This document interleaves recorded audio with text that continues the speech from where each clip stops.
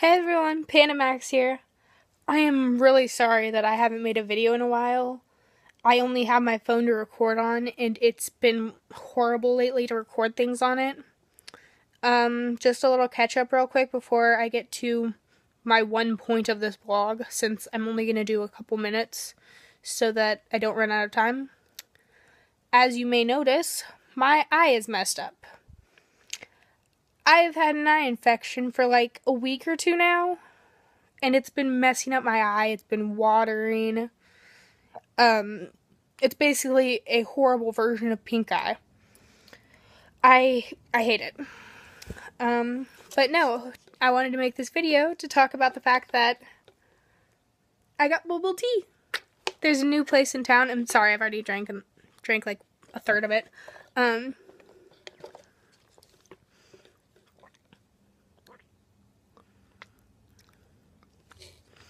Um, basically, if you don't know what bubble tea is, it's a type of flavored tea with these little like pearls at the bottom of it that you can eat.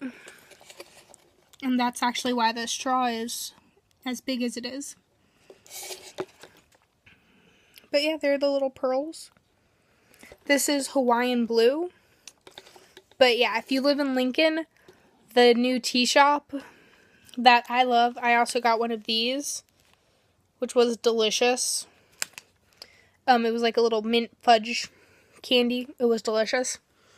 Um, but the new tea shop is downtown near the courthouse, right there next to Abe's can Abe's um store Abe's where like you get candy and stuff like that, and by Prairie Years, not too far from the public library right there. Um, so if you want to go check that out, go check that out. And I promise I will try to make videos more consistently as much as I can and as often as I can. They probably just won't be that long. Um, thanks everyone if I don't make a video before Christmas. Good luck on finals and Merry Christmas. Bye. Remember to like, comment, and subscribe.